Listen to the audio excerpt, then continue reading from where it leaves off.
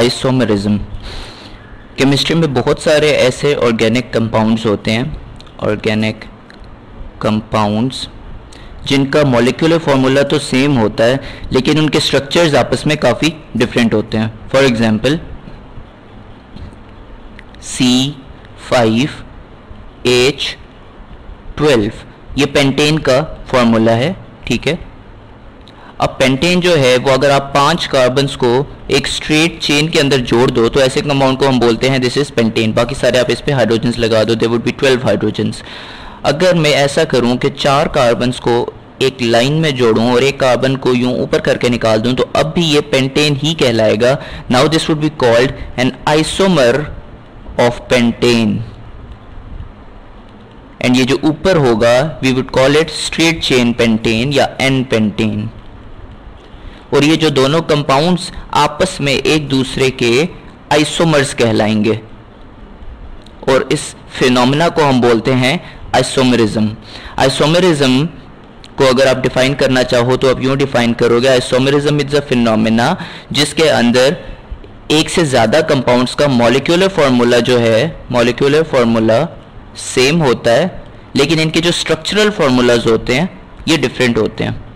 इनके structural formulas different होते हैं, या जो इनकी ऑर्गेनाइजेशन ऑफ़ एटम्स है, या जो अरेंजमेंट ऑफ़ एटम्स है, वो डिफरेंट होती है।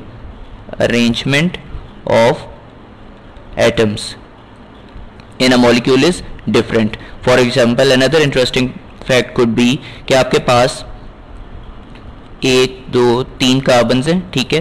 और आपने इस कोने वाले कार्बन के ऊपर ना एक सी एल ग्रुप लगाया हुआ है, ठीक है? और एक और कंपाउंड आप कंसिडर करो, तीन कार्बन हैं और आपने दरमियान वाले पे सी एल लगाया हुआ है। तो ये जो दोनों कंपाउंड्स हैं, एक दूसरे के आइसोमर्स कहलाएँगे, ठीक है? या एक और एग्जांपल अगर मैं, ये जो अभी मैंने आपको बताया दिस इज़ स्ट्रक्चरल रिलेटेड क्योंकि स्ट्रक्चर्स डिफरेंट है दोनों के आपस में। अब ऐसा भी हो सकता है कि दो कंपाउंड्स के स्ट्रक्चर एक ही हों।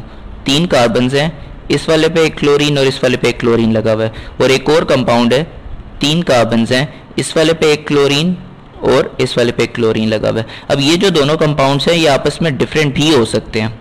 यहाँ पे आप डबल बॉन्ड कर दो आपस में।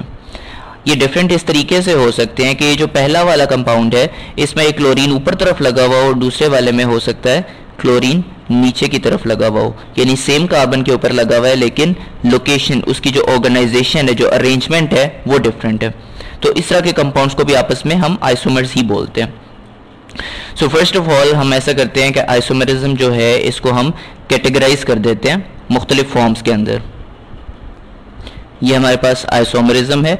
अब isomerism overall there are two types of isomerism right first हम यहाँ पे लिख देते हैं एंड सेकेंड हम यहाँ पे लिख देते हैं। The first type of isomerism is called structural isomerism जिनमें दो कंपाउंड्स का आपस में स्ट्रक्चर डिफरेंट होता है। लेकिन उनका मॉलिकुलर फार्मूला जो होता है वो सेम होता है। ऐसे आइसोमेरिज्म को बोलते हैं structural isomerism and the other type is called stereo isomerism stereo isomerism stereo का मतलब होता है थ्री डी इफेक्ट्स स्टीरियो आप कहीं पे भी वर्ड पढ़ते हो तो इसका मतलब होता है थ्री डायमेंशन के अंदर जो अरेंजमेंट होती है। तो ये जो स्टीरियो आइसोमेरिज्म होता है, इसमें ये होता है कि जो अरेंजमेंट ऑफ़ एटम्स है, वो डिफरेंट होता है किसी एक ही कार्बन के ऊपर। फर्दर स्ट्रक्चरल आइसोमरिज्म की भी बहुत सारी टाइप्स हैं और स्टीरियो आइसोमरिज्म की भी टाइप्स हैं। फॉर एग्ज़ाम्पल स्ट्रक्चरल आइसोमरिज्म में हमारे पास पोजिशन आइसोमरिज्म हो सकती है, जिसमें मुख्तलिफ़ पोजीशंस के ऊपर कोई इंपॉर्टेंट ग्रुप अटैच्ड होता है। इसके अलावा चेन आइसोमरिज्म हो सकती है, जिसमें जो चेन्स हैं वो आपस में डिफरेंट होती हैं। इसके अलावा हमारे पास फंक्शनल ग्रुप आइसोमरिज्म हो सकते हैं या फंक्शनल आइसोमर्स हो सकते हैं, जिसमें फंक्शनल ग्रुप ही चेंज हो जाता है सिर्फ़ कुछ कंपाउंड एटम्स के चेंज करने की वजह से। इसके अलावा there could be metamerism metamerism में ये होता है कि फंक्शनल ग्रुप के साइड पे डिफरेंट नंबर ऑफ़ एटम्स होते हैं। Metamerism and then finally tautomerism tautomers ये भी बहुत इंपॉर्टेंट फिनोमेना है, जिसमें एक हाइड्रोजन जो होता है, वो शिफ्ट हो जाता है। तो आज का जो बेसिकली हमारा लेक्चर है, हम लोग स्ट्रक्चरल आइसोमर्स के बारे में बात करना स्टार्ट करेंगे और हम जो इसकी सबसे पहली टाइप है पोजिशन आइसोमरिज्म इसको हम बहुत ज़्यादा डिटेल के अंदर देखेंगे। इसी तरह ये जो स्टीरियो आइसोमरिज्म है, इसके भी बहुत सारी टाइप्स होती हैं। स्टीरियो आइसोमर्स की कौन कौन सी टाइप्स होती हैं? इसमें दो मेजर टाइप्स हैं। एक आइसोमर्स की टाइप है, जिसको हम बोलते हैं ज्योमेट्रिक आइसोमरिज्म जिसके अंदर एक सिस और एक ट्रांस आइसोमर्स आते हैं और दूसरा फिर हमारे पास आइसोमरिज्म की एक टाइप है जिसको हम बोलते हैं ऑप्टिकल आइसोमरिज्म। ठीक है? ये जो दोनों हैं, ये स्पेटियल अरेंजमेंट की वजह से आपस में डिफरेंट आइसोमर्स बनते हैं और ये जो हैं, ये स्ट्रक्चर के डिफरेंस की वजह से बनते हैं। So now let us talk in detail about the position isomers ये जो फ़र्स्ट सबसे पहली इसमें टाइप है पोजिशन आइसोमर्स इसको हम डिटेल में अब एक्सप्लोर करते हैं। पोजिशन आइसोमर्स ये होता है कि हमारे पास मुख्तलिफ़ कार्बन एटम्स हैं, ठीक है? फॉर एग्जांपल ये एक ब्यूटेन का मॉलिक्यूल है सिंपली बाकी सारे इस पर हाइड्रोजन्स लगे हुए हैं। One two one two and three अब इस ब्यूटेन के मॉलिक्यूल के ऊपर अगर आपने एक लेट से के हेलोजन लगाना है, यानी आपने एक ब्रोमीन एटम लगाना है या ब्रोमो ग्रुप लगाना है तो वो ब्रोमो ग्रुप आप कहाँ कहाँ पे लगा सकते हो? पहली पॉसिबिलिटी है कि आप बिल्कुल ये इस वाले कार्ब हाइड्रोजन के ऊपर ना एक ब्रोमो ग्रुप लगा दो।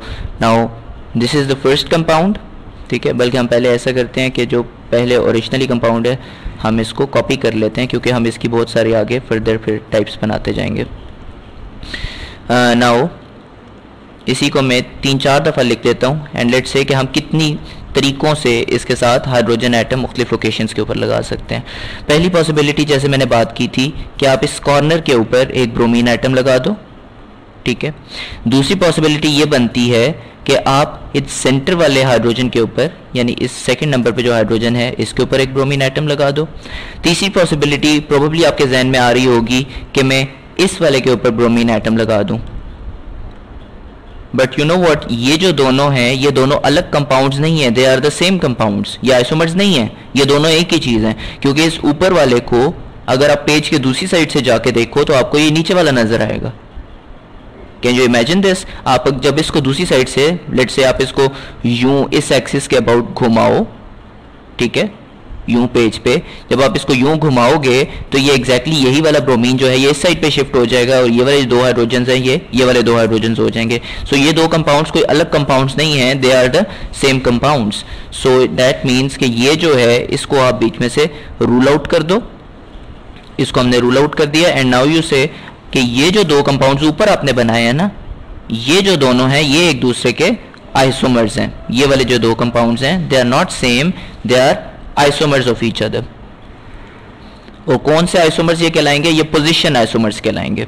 They are position isomers of each other क्योंकि इनमें जो एक ग्रुप है, एक बहुत ही इंपॉर्टेंट ग्रुप ब्रोमो ग्रुप उसकी पोजीशन डिफरेंट है on the carbon chain position isomerism में एक और जो रूल है, जो आपने याद रखना है, वो ये कि स्केलेटल फॉर्मूला को चेंज नहीं होना चाहिए. Skeletal formula should not change for अब now you should be knowing what is the skeletal formula एक तो ये होता है ना जो मैं ऊपर बना रहा हूँ. फॉर एग्जांपल ये जो मैंने अभी कंपाउंड बनाया है दिस इज़ ब्रोमोब्यूटेन या वन ब्रोमोब्यूटेन आपने वन लोकेशन के ऊपर ब्रोमो ग्रुप लगाया हुआ है. अब इसी कंपाउंड का अगर मैंने मॉलिकुलर uh, फार्मूला लिखना हो तो वो मैं कैसे लिखूँगा? There are four carbons and there are one two three four five six seven eight and one nine hydrogens H nine and साथ एक बी आर लगा हुआ है। So this is the molecular formula ठीक है? ये जो ऊपर बना हुआ है this is called structural formula and एक तीसरा फॉर्मूला भी होता है, जिसको हम बोलते हैं स्केलेटल फॉर्मूला स्केलेटल फॉर्मूला ये होता है कि आप उसमें सिर्फ़ स्केलेटन बनाते हो। अब थ्री डायमेंशन के अंदर if you see this compound तो आपको कुछ ऐसे नज़र आएगा। कार्बन कार्बन कार्बन कार्बन ये जो कॉर्नर्स हैं, ये चार कार्बन होंगे, ठीक है? और ये बॉन्ड्स यूँ करके होंगे। क्योंकि आप पीछे देख चुके हो कि जो कार्बन है वो sp3 हाइब्रिडाइज्ड होता है। सो so बेसिकली ये ये ये पेज से मेरी तरफ़ आ रहा है, ठीक है? और ये एक चौथा हो गया, ठीक है? इसी तरह ये वाला जो कार्बन है this is also S P three hybridise तो यूँ और, बल्कि इसको हम यूँ बनाते हैं। ये एक, उसका बॉन्ड हो गया, ये दूसरा हो गया, और ये, ठीक है? See all these are four carbon bonds carbon के चार S P three hybridise orbitals हैं। एंड यू सी के ये जो ओरिएंटेशन है, ये कुछ यूँ होगी कि एक यूँ नीचे आएगा, फिर एक ऊपर जाएगा मतलब आप यूँ नहीं जोड़ सकते सारों को। ठीक है? सो थ्री डायमेंशंस के अंदर अगर आप स्ट्रक्चर को बनाओ और कार्बन को रिप्रेजेंट ना करो तो ऐसे स्ट्रक्चर को हम स्केलेटल फॉर्मूला पे बोलते हैं। फॉर एग्जांपल दिस जो मैं पहले ड्रॉ कर रहा था, ये एक स्केलेटल फॉर्मूला था। किस चीज़ का स्केलेटल फॉर्मूला है ये? ये जो भी मैंने फॉर्मूला बनाया है, ये ब्यूटेन का स्केलेटल फॉर्मूला है। हर कॉर्नर का मतलब होता है एक carbon this is carbon this is carbon this is carbon and this is carbon और अगर आपने कोई ग्रुप ऊपर दिखाना होता है तो वो आप क्या करते हो कि वहाँ से आप एक साथ क्लोरो लगा दोगे। और जिस कार्बन के ऊपर कोई ग्रुप लगा हुआ है, फिर आपको दूसरे आइटम्स भी साथ शो करने पड़ते हैं। इसके ऊपर दो हाइड्रोजन भी लगे हुए हैं। हाइड्रोजन आप स्केलेटल फॉर्मूला के ऊपर वैसे शो नहीं करते। एक और एग्ज़ाम्पल मैं आपको बता देता हूँ। सी सी सी और यहाँ पे एक डबल बॉन्ड और बाकी सारे आप हाइड्रोजन अगर मैं लगा देता हूँ। यहाँ पे H, यहाँ पे तीन हाइड्रोजन्स नाउ यू सी ये जो फॉर्मूला है दिस इज़ फॉर प्रोपीन और प्रोपीन का स्केलेटल फॉर्मूला अगर मैंने बनाना है तो मैं कुछ ऐसे बनाऊँगा. यूँ यूँ और यूँ अब इसका मतलब हो गया तीन कार्बन एटम्स में बना चुका हूँ. और फिर इसके बाद तीन कार्बन के बाद मुझे अब ये करना है कि ये डबल बॉन्ड किसी तरीके से शो करना है. तो डबल बॉन्ड शो करने का तरीका ये होता है कि जो ही, वही जो एक पहले लाइन लगी हुई है, उसी के ऊपर आप सॉरी उसी से पैरेलल आप एक और लाइन लगाओ यूँ करके. नाउ ये आपने शो कर दिया कि this is the double bond and that's it ये जो भी आपने फॉर्मूला बनाया है this is for alkene this propene तो स्केलेटल फार्मूला का मतलब फिर ये हुआ कि जो कार्बन हैं, वो आपने इसके अंदर एक स्केलेटन नज़र आ रहा होता है। स्केलेटन जिस तरह होता है ना, एक बॉडी का स्केलेटन होता है। जिसमें सारी हड्डियाँ होती हैं। इसी तरह आपको एक कार्बन के मॉलिक्यूलर स्ट्रक्चर इसमें आपको फील हो रहा होता है। स्ट्रक्चरल फार्मूला में तो आप सारा कुछ लिखते हो ना? हाइड्रोजन भी लिखते हो, जैसे ये एक स्ट्रक्चरल फार्मूला लिखा हुआ है। स्केलेटल फार्मूला में आप सिर्फ़ न्यू लोकेशन शो करते हो एक तरह से थ्री स्ट्रक्चर का आइडिया हो रहा होता है। So this is the skeletal formula अब मैंने आपको ये बोला था कि स्केलेटल फार्मूला जो है, वो चेंज नहीं होना चाहिए। ठीक है? अब देखो स्केलेटल फार्मूला वही रहेगा, सिर्फ़ ये ब्रोमो ग्रुप जो है, इसकी लोकेशन चेंज हो रही है।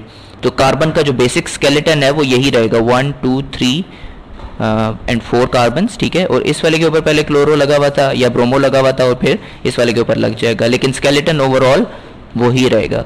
यानी बेसिक नंबर ऑफ़ कार्बन की जो चेन है कार्बन की चेंज नहीं चेन uh, को आपने चेंज नहीं करना। This is called position isomerism इसकी और भी बहुत सारी टाइप्स हो सकती हैं।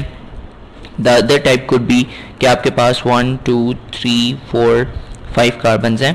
अगर आप यहाँ पे एक ओ एच ग्रुप लगा देते हो एंड बाकी सारे अगर आप हाइड्रोजन लगा देते हो then this is called an alcohol हम आप इसे ऑलरेडी देख चुके हैं कि ऐसे कंपाउंड्स को आप अल्कोहल्स बोलते हो। फिर एक और पॉसिबिलिटी ये हो सकती है कि पाँच ही कार्बन हों बट आप इस वाले कार्बन के ऊपर एक ओ OH ग्रुप लगा दो। और एक और पॉसिबिलिटी हो सकती है कि ये पाँच ही कार्बन हों, और बिल्कुल सेंटर वाले के ऊपर आप एक हाइड्रोक्साइड लगा दो। अगर एक और पॉसिबिलिटी आपके जहन में आ रही होगी, अगर मैं इस वाले पे लगा दूँ, लेकिन इस वाले पे लगाऊँगा तो वो वही बात हो जाएगी जो ये ऊपर वाली है, क्योंकि इसको अगर घुमा के देखोगे तो ये ऊपर वाला हो जाएगा। और अगर मैं फाइनली इस कॉर्नर वाले पे लगाऊँ तो वो वही बात हो जाएगी जो ये सबसे ऊपर बना हुआ है। सो ओवरऑल तीन किस्म के आइसोमर्स बनेंगे अल्कोहल के, ये जो अल्कोहल में बनाना चाह रहा हूँ and these are called position isomers of each other and later on in this book, you would see कि जो पहली टाइप है this is a primary alcohol, this one and this one, these are two secondary alcohols. इसके बाद जो दूसरी type होती है the first one of the structural isomers was position isomerism ये आप देख चुके हो। Now let's talk about the chain isomers जो सेकंड नंबर पे हमने टाइप देखी थी। चेन आइसोमरिज्म में ये होता है कि आपको मैं एग्जांपल से समझाता हूँ। Let's say you have one two three four carbon atoms joined in a straight line and the other possibility could be कि आप तीन को एक लाइन के अंदर जोड़ो और चौथा यूँ कोने पे निकाल दो। अब ये जो दोनों हैं, ये आपस में एक दूसरे के चेन आइसोमर्स कहलाएँगे, क्योंकि मॉलिकुलर फार्मूला तो इन दोनों का सेम रहेगा। You might be thinking molecular change हो गया क्योंकि इस पर हाइड्रोजन चेंज होंगे, ऐसा नहीं होता। अगर आप देखो यहाँ पे अगर one two three one two one two one two three ऊपर वाले का जो मॉलिकुलर फॉर्मूला है it is C four H ten C चार ऊपर, चार नीचे और दो साइडों पे दस कार्बन के, दस हाइड्रोजन आइटम्स हो गए और नीचे वाले पे if you put hydrogen one two three इस वाले पे भी तीन लगेंगे। और इस वाले पे भी तीन लगेंगे क्योंकि ये वाले तीन टर्मिनल कार्बन एटम्स हैं as you remember from this previous chapter you can see three six nine and one ten तो नीचे वाला का बस C C four H ten ही है molecular formula but the structural formulas of these two compounds are totally different from each other you see तो इन दोनों का स्ट्रक्चर आपस में एक दूसरे से डिफरेंट है और ये एक दूसरे के चेन आइसोमर्स कहलाते हैं. चेन आइसोमरिज्म में जो चेन्स हैं, उनका स्ट्रक्चर चेंज हो जाता है. यानी अगर स्ट्रेट चेन है तो मुख्तलिफ़ ब्रांच चेन क्यों? ब्रांच चेन्स भी बहुत सारी टाइप्स की हो सकती हैं. जैसे आपने देखा कि ब्यूटेन अगर हो तो इसके टोटल दो चेन आइसोमर्स बन सकते हैं. बट मुख्तलिफ़ कंपाउंड से मुख्तलिफ़ चेन आइसोमर्स बनते हैं। अगर मैं आपसे पूछूँ कि ईथेन जो है, इसके कितने चेन आइसोमर्स बनेंगे? If there are two carbon atoms join together इसका एक भी चेन आइसोमर नहीं बनेगा। यानी अगर आपके पास ये एक स्ट्रक्चर है, अगर मैं कार्बन एटम्स की लोकेशन चेंज कर भी दूँ तो इसमें क्या होगा कि दोबारा यही वाला कंपाउंड बन जाएगा, कोई नया कंपाउंड नहीं बनेगा। अगर आप टॉप पे देखो तो इस चेन आइसोमर में ये होता है कि आपका स्केलेटल फार्मूला चेंज हो जाता है। स्केलेटल फार्मूला चेंजेस ठीक है? और जो पोजिशन आइसोमरिज्म था, उसमें स्केलेटल फार्मूला चेंज नहीं होता था। यानी इस आइसोमरिज्म की टाइप में जो कार्बन्स की स्ट्रक्चर है, जो बेसिक स्केलेटन है, वो ही बदल जाता है। ठीक है? इस ऊपर वाले को मैं कैसे बनाऊँगा?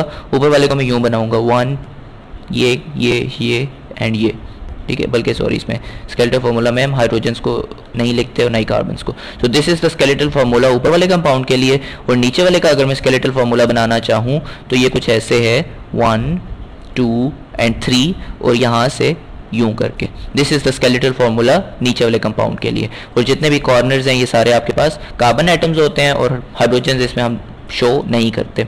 So see this one and this one these are two different skeletons. So formula changes in chain isomerism, but it stays the same in position isomerism. So, now you know कि एथेन का सिर्फ़ एक ही functional isomer functional कह रहा हूँ, ये जो structural isomer या चेन आइसोमर हो सकता है। इसके अलावा अगर आप प्रोपेन की बात करो तो प्रोपेन में हमारे पास तीन कार्बन एटम्स हैं। यू माइट भी थिंकिंग कि अगर दो को यूँ जोड़ दें और तीसरा हम यूँ जोड़ दें तो एक्चुअली तो जब इसका स्केलेटल फॉर्मूला आप ड्रॉ करोगे तो वो तो ये होगा ना? वन टू एंड थ्री और इसका भी चूँकि ये तीनों एक ही लाइन में ही जुड़े हुए हैं ना तो टर्मिनल कार्बन तो दो ही हैं इसमें भी। ये ये वाला और ये वाला एक ही चीज़ है, ठीक है? सिर्फ़ मैंने उसको नीचे की तरफ़ शो कर दिया लगाऊँगा मैं इस पर भी दो ही हाइड्रोजन्स लगाऊँगा, जिसे ऊपर में हमने दरमियान वाले पे दो हाइड्रोजन्स लगाने थे। कोनों वालों पे, दोनों पे तीन तीन, और इसमें भी दोनों पे तीन तीन। सो ओवरऑल ये दोनों एक ही कंपाउंड हैं, ये आइसोमर्स नहीं है एक दूसरे के। तो इसमें आपने कंफ्यूज नहीं होना। दैट वंस अगेन प्रूव्स कि जिस तरह एथेन का एक ही टोटल आइसोमर बन रहा था, या by one I actually mean के वो कंपाउंड इट इसके अलावा कोई और नहीं बनाया जा सकता। अलबत्त अगर आप ब्यूटेन पे आओ तो as we already saw butane के दो मुख्तलिफ़ कंपाउंड्स बनाए आ सकते हैं। One two three and four ये एक हो गया, और दूसरा ये कि आप तीन एक लाइन में जोड़ो, और चौथा यूँ करके लगा दो। अगर मैं चौथा इस कॉर्नर पे लगाता तो वो फिर यही वाली बात हो जानी थी ऊपर वाली। या एक और पॉसिबिलिटी ये बनती है कि मैं वन टू दो एक लाइन में जोड़ूं और बाकी तीन में किसी एक कार्बन के ऊपर लगा दूँ। बट अगेन वो वही वाली बात हो जाएगी। सॉरी बाकी दो में किसी एक कार्बन पे लगा दूँ। वो यही ऊपर वाली बात हो जाएगी। अगर इस पे मैं बाकी दो लगा देता हूँ तो भी यही वाली बात हो जाएगी। और अगर मैं यू करूँ, जो बाकी दो बच गए हैं कार्बन उनमें से एक मैं इस पर लगा दूँ और एक मैं इस पे लगा दूँ तो अगेन ये यही वाली बात हो जाएगी। Skeletal formula would stay the same so that actually proves कि butane can have only two structural sorry chain isomers of each other these two are chain isomers of each other इसके अलावा let's say कि हम pentane की बात करते हैं। Pentane के हम कितने आइसोमर्स बना सकते हैं? There are a total of one two three four five carbon atoms ठीक है? एंड एक तरीका तो यह है कि आप पाँचों को एक लाइन में जोड़ दो। दूसरा तरीका यह है कि आप चार को एक लाइन में जोड़ो और पांचवा इन दो साइडों पे लगाओगे, फिर तो यही वाली बात हो जाएगी ना, जो ऊपर वाला है। आप दरमियान वाले पे कहीं पे एक पांचवा लगा दो। ठीक है?